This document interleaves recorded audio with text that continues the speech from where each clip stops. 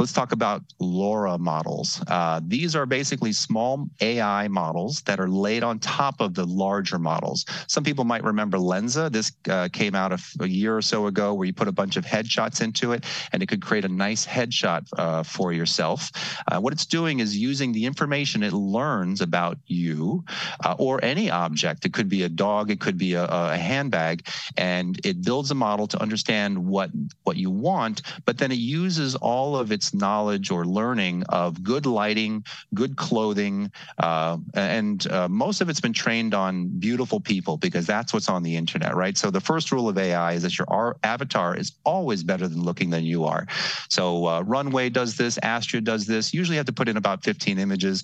The one with the dog at the bottom, we didn't do this.